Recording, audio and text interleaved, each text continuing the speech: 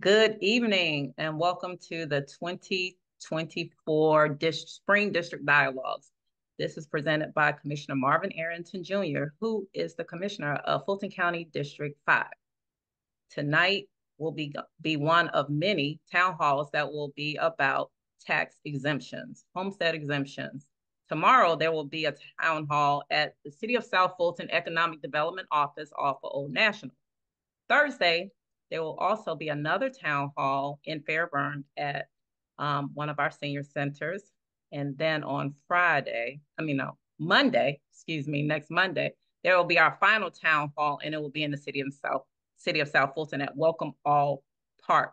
All of the evening ones start at six o'clock to 7 p.m. Commissioner Arrington will be there to answer all your questions and also the tax assessor's office. In April, we will be having a very important town hall on April the 18th at Wolf Creek Library, and it will discuss the um, inequities of healthcare below I-20. And Commissioner Arrington has coalesced a wonderful panel to have educated conversation and to offer solutions to this disparity in the deliverance of healthcare below I-20. So without further ado, here's Commissioner Marvin Arrington Jr of Fulton County District 5, the best district in Fulton County. Good evening, everyone. Uh, this is Marvin Arrington Jr. So happy that you could join us this evening. Uh, we're here for our homestead exemptions tax hall, uh, our town hall. Uh, we want everyone to make sure that they are aware of their homestead exemptions and that they are getting, uh, that everyone pays their fair share and no more. Uh, and if you uh, own your home and have not applied for a homestead exemption, uh, then certainly you may be entitled uh, to some tax relief from Fulton County uh, if you register for a homestead exemption. There are numerous tax exemptions in Fulton County. I believe there are 18 taxing jurisdictions or something like that. And uh, we've got James Whitman with the assessor's office who will uh, correct any uh, any information that I give that might be wrong. But I believe there are 18 taxing jurisdictions, the 15 cities, the county, uh, and the two school districts. So there are 18 different taxing jurisdictions in um, Fulton County and they all have their own set of exemptions. So today we're going to be focusing on the Fulton County exemptions. And so if you live in another city, you may want to reach out to that city about the tax exemptions for that specific city. Uh, and also the school districts, you may want to also reach out to Fulton County Schools uh, if you live outside of Atlanta, or to Atlanta Public Schools if you live inside the city of Atlanta. Uh, Dorsha talked about our uh, upcoming uh, homestead exemption town halls. We try to do this every year before the deadline. The deadline is April 1st. April 1st is the deadline to have your homestead exemption in. Uh, so we're doing this town hall tonight. Um, tomorrow night we will be doing a town hall uh, or March 13th, uh, which I guess is tomorrow. We'll be doing homestead exemptions town hall uh, at the City of South Fulton Economic Development Office on Old National Highway. Uh, and uh, she Dorsha talked about those as well. We'll do one in Fairburn at 11 a.m. on Thursday at the New Beginning Senior Center uh, and then we'll do one on March 18th at Welcome All Park uh, at 6 p.m. So uh, spread the word and let others know about these upcoming homestead exemption town halls. Um, and from there, I will turn it over to our resident expert, Mr. James Kevin Whitman, uh, from the Fulton County Assessor's Office so that he can tell us more um, and fill in all of the details uh, that I didn't fill in. Uh, welcome, James. Thanks for coming out tonight. Thank you, Commissioner Arrington. It is a uh, joy to be a part of this. Uh, we certainly look forward to every opportunity that we have to get out um, good information as it relates to the homestead exemptions in Fulton County. As the commissioner stated, we do have a large variety of homestead exemptions that are available to our citizens. And we certainly want everyone to be, uh, be aware of that and take advantage of it, uh, especially as he said for this year, uh, in a timely fashion, uh, with the that due date, if you will, of April the first, uh, soon to be upon us. Just a real quick overview of the Board of Assessors. That's the entity that's responsible for basically approving or denying homestead exemptions. Uh, you do make application with the tax assessor's office. Once those homestead exemptions, for example, are approved, uh, we apply that code that uh, designates the exemption that you qualify for to your property. And ultimately, the tax commissioner's office utilizes that to uh, calculate your tax bill. As far as our office is concerned, I'm the deputy chief appraiser, one of uh, four deputy chief appraisers. I'm on the left-hand side of the screen down there at the bottom as far as homestead exemptions. Our field book office, which is deed transfers, and our GIS division. I'm responsible for those areas of our office. When it comes to homestead exemptions themselves, they are uh, legal provisions uh, established by both state and local legislation that help to reduce the assessed value of owner uh, owner occupied homes. And as we said, you can you can apply for homestead exemption at any point during the year at any time. But in order for your homestead exemption application to apply to the current year's taxes, you do have to apply, as the commissioner said, by April the 1st. So again, that is an important deadline for you to keep in mind uh, with regard to homestead exemptions.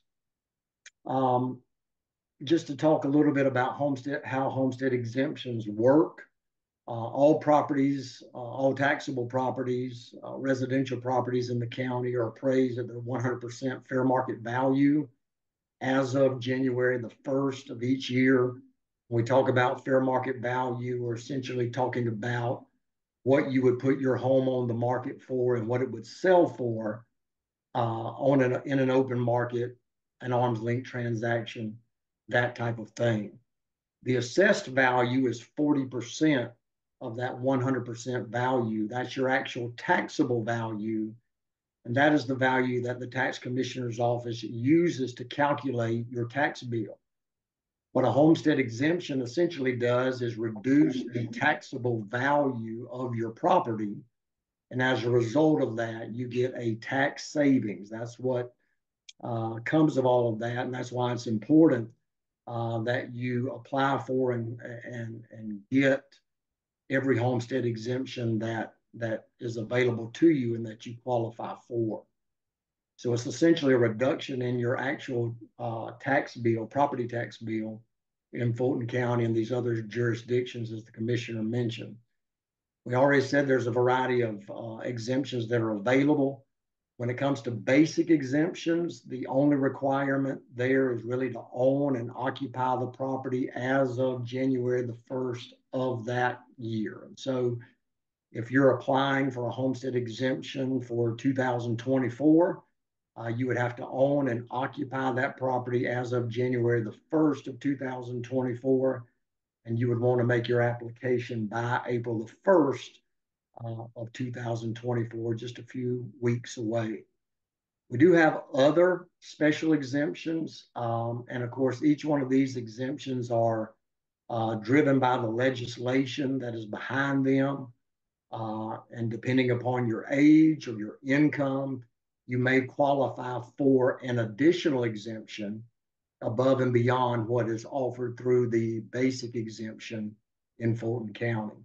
There are also other what we call special exemptions that apply to disabled veterans, uh, the surviving spouses of disabled veterans, and the surviving spouses of a peace officer or a firefighter, for instance, that were killed in a line of duty. Uh, there's also what is referred to oftentimes as a poverty exemption. It's a low income exemption. And it is dependent upon the federal adjusted gross income of all of the residents of a household. And I always like to emphasize that because sometimes there is a little bit of confusion about that. But it's the federal adjusted gross income of all of the residents that reside or that live in that property. When they are below certain amounts as dictated to us by the legislation, you can qualify for up to a 50% reduction in your property tax bill as a result of that. So a very important one as well. Um, there was a new exemption that came uh, into law and into being in tax year 2023. I indicated on the slide that to be eligible for it, you had to be 65 again as of January 1.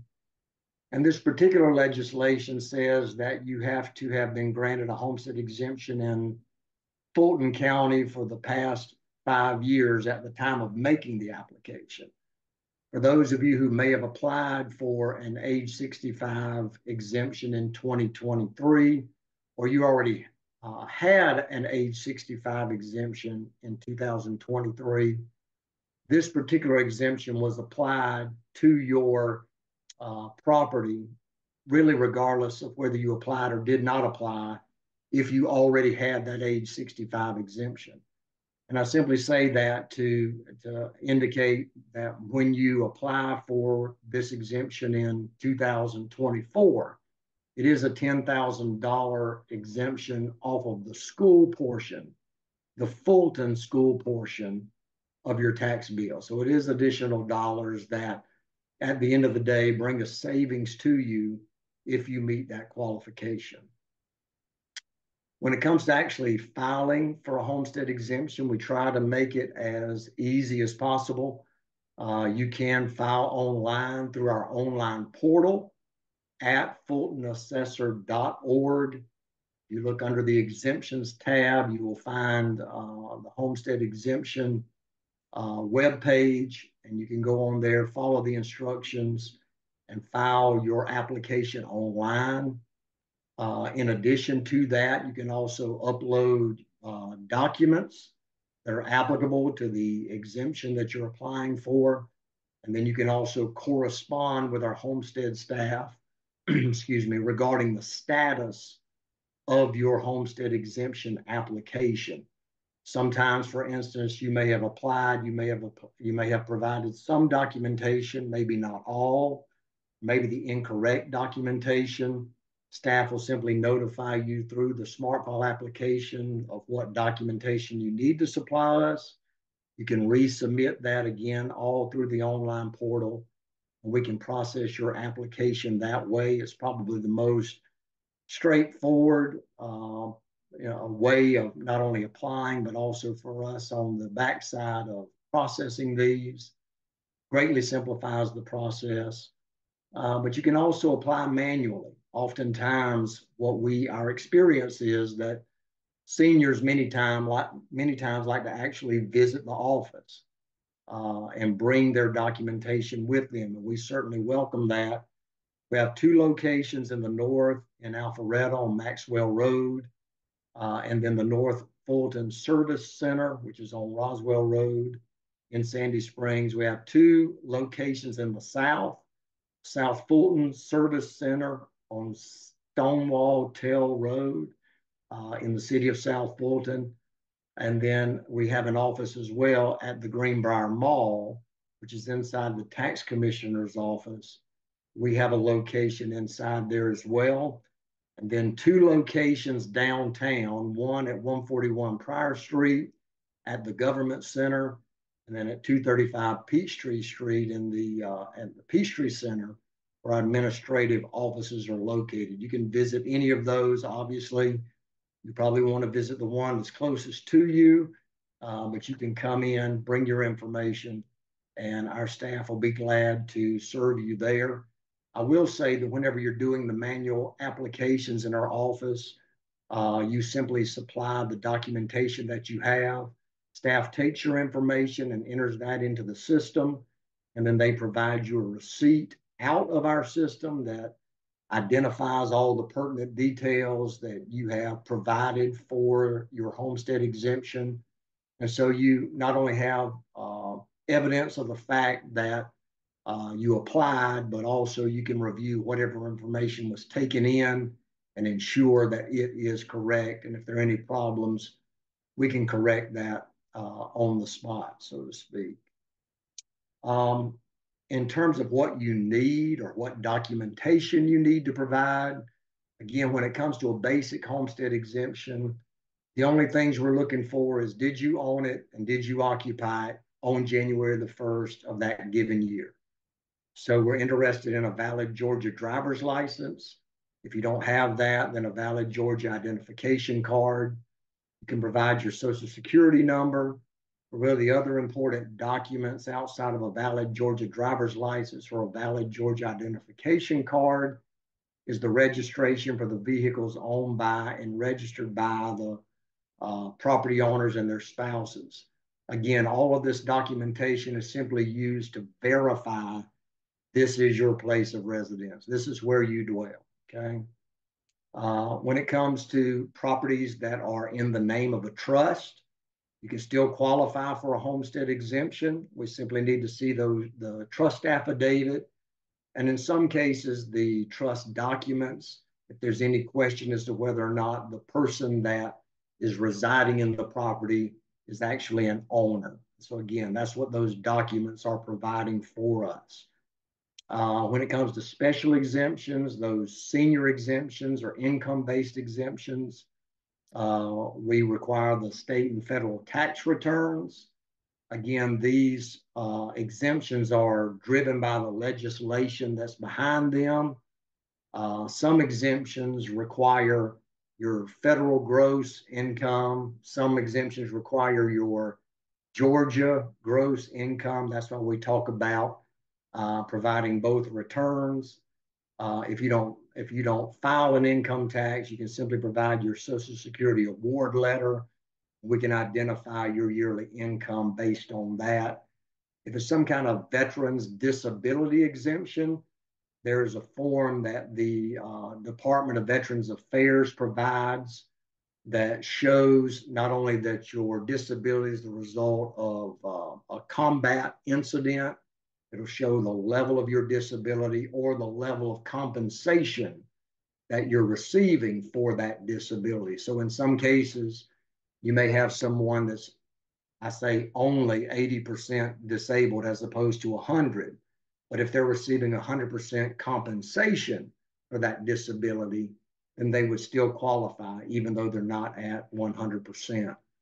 Uh, also, for anyone that has a medical disability, uh, there are affidavits that are required from your physician that simply show that you're either 100 that you're 100% unemployable or cannot be gainfully employed. We actually have those documents on our website at fultonassessor.org, and you can download those, take them to your doctor, your physician. They can simply sign them, you return them to us, and um, and we can utilize that. I do emphasize that if you are applying for a homestead exemption, uh, your name does have to be on the deed. Okay, you do have to be an owner, and again, you do have to occupy uh, in order to qualify. And if you have any questions about any of this, we do have an online guide uh, at our fultonassessor.org website on that homestead page that I mentioned that goes into a lot more detail than even what I'm discussing here. Or you can contact any of our offices, talk to our staff. They'll be glad to walk you through that process. One other thought to keep in mind is that when you go online through our portal to apply, oftentimes people don't know or may not even have any idea what exemptions they all may, you know, that they may qualify for. And the way the online portal is designed, it's going to ask you different questions to make sure that the exemption that you are approved for is the best exemption that you qualify for, the one that will benefit you the most. So even if you don't understand all of the particular laws behind all of this, the online portal is designed to guide you in the, down the right path.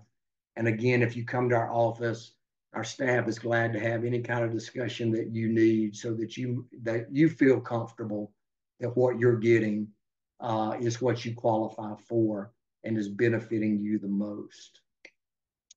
Again, as far as applying online, it's fultonassessors.org. Look at our exemptions tab on the right. You can contact our office at 404-612-6440, extension 4. Uh, Florence Brooks is our homestead manager and has been for many years. Uh, you can contact her or uh, uh any of our other staff. They're glad to help you. And then there I am again. I'm the deputy chief appraiser. You can feel free to reach out to me through email or, or via the phone and uh, be glad to take your calls, answer any questions. You may have questions today, and I'll do my best to answer those for you as well. But that's all I have today.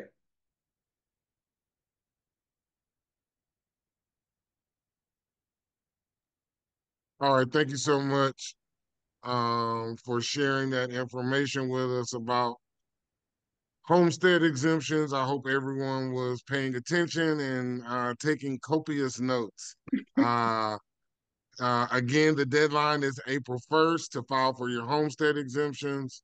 Uh, the basic homestead exemption, there are additional homestead exemptions based on your age. Uh, I think there's one at what, 60 and then 60, uh, it's age 62, age 65, 62. age 70. Just keep in mind if it's age 62 or age 70, there are income requirements to go along with that. But at age 65, it's a basic senior exemption. So it's just the fact that you own it, you reside in it, and you're 65 as of January 1st. All right. And then obviously the additional exemptions that we discussed were for uh, disabled veterans and surviving spouses of veterans and police officers and firefighters. Uh, again, there are 18 different taxing jurisdictions in Fulton County, including the county, the 15 cities, uh, and the two school jurisdictions.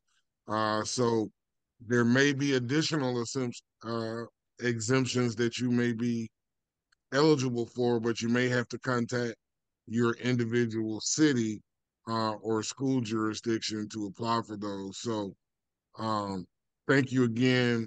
And we will have uh, another town hall, uh, homestead exemption town hall tomorrow. I know we've mentioned it once or twice already, but uh, tomorrow at 6 p.m. we'll be on Old National Highway at the City of South Fulton Economic Development Office.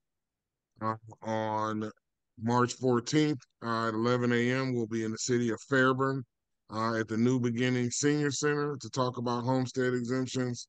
Uh, and then uh, March 18th, we'll be at Welcome All Park to talk about uh, additional homestead exemptions. And I saw Dorsha raise her hand. I must, uh, maybe I got something wrong. No, we have two questions from the audience. Okay, yes. Um, let's go to those, and then I have one or two questions myself. Okay, um, from an anonymous attendee, how do you get an exemption for having chickens and or bees? I think they must mean livestock. I got chicken and bees in my house, but I don't think that counts. Yeah, yeah, the, the commissioner is correct on that. There is a uh, what, what is known as the conservation use program. Uh, it's outside of the realm of homestead exemptions, but it is a 10 year covenant that's available for properties that have a primary use of, or, of agriculture. Uh, that application can also be found online at fultonassessor.org. And uh, we have staff that's available that are experts in that field uh, that can give further information along those lines as well. Say the name of that again please? Yes, uh, it's called a conservation use uh, application. It's really okay. current use valuation. You know, it has a long acronym, but if you say conservation use application, they'll know what you're talking about. Awesome. Thank you. Okay. And the second question is so once you've submitted the homestead exemption, it's only one time, correct? what if what if I think it's not being applied correctly? Who do I contact?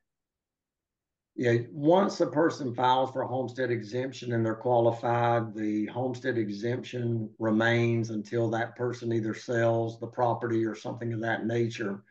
The only caveat to that is when we were talking about age 62, 65, and 70, the way things currently operate, once you reach those age marks, you do need to come in and file for that additional exemption. If you have any question as to whether or not your exemption is being applied correctly, contact our office. Uh, you can contact Florence. You can contact myself, um, and we'll be glad to um, you know review that for you and help you have whatever comfort level you need to ensure that um, you know the the exemption is being applied as as mandated by law. Can you put your your contact information and email in the chat for yes. everyone and and maybe Florence's as well, just in case someone wasn't around and missed that uh, yes, slide where you had the info where you shared the information. Okay. I sent um Florence's email to that particular person. Okay, good. Yeah, well, I will. We, let's share it with everyone in the chat so that everyone has access to it. Because someone else may be shy. They may have a question and don't want to ask it. Uh, or at least not in front of everyone. Yeah. All right. All right. And so I think that's the two questions that we had. Um, and I know this next question actually may be a little bit out of your realm. Um, but people have been trying to pay their property taxes, and I know they pay the property taxes to the tax commissioner, but because of the IT issues that we've been facing, um, what what what can you share, if anything, about the IT issues and the ability for people to pay taxes? Because I know the website was down, people couldn't pay online, they would have had to go come into one of the offices to pay. Yeah, as you stated, the um, the uh, cybersecurity issue uh, did hinder uh, probably the tax commissioner's office as far as our our tax structure. They were they were probably the greatest impacted uh, in regards to that. We did have a meeting earlier today, and again, I'm I'm not with the tax commissioner's office, but I was involved in a meeting today, and my understanding is that the tax commissioner is able to receive payments once again through a credit card and that type of thing. I think previously he could only do it through cash or a check or something of that nature. I don't know that they are 100% fully restored, but the statement that was made uh, earlier today was that they were about 99% restored. Um, so uh, obviously the best person to contact about that is the tax commissioner's office but I did want to put it out there that that uh, the information we received today from Dr. Ferdinand himself was that uh, that functionality has been restored. They can actually make those payments. Awesome, thank you. And I, I knew that was a, a, different office, but glad to know that uh, you guys are staying in communication um, yeah. for the benefit of the residents and glad that you were able to provide that update for us. Um, looks like we might have one more question. Oh, okay. Comment from Jessica Corbett. Thank you. That is breaking news. As of this afternoon, and online payments are now working. Thank you, Jessica. Yes, thank you. Um, so you look, guys, uh, District 5, home exemption tax hall, you get the breaking news. You find out right here live that we are, Fulton County is accepting payments again from the tax commissioner's office for payment of property taxes. Uh, so I believe that that is all that we have. Uh, Dorsha, anything else that I missed or anything else that we need to cover? Uh, uh, James, can you uh, send that information again? When you sent it, it was to host and panelists and not to everyone. Oh, I got you. Okay. Um, it's like a little drop down. See it? Yeah. I, I, was trying to copy it, but it won't let me copy and paste. So.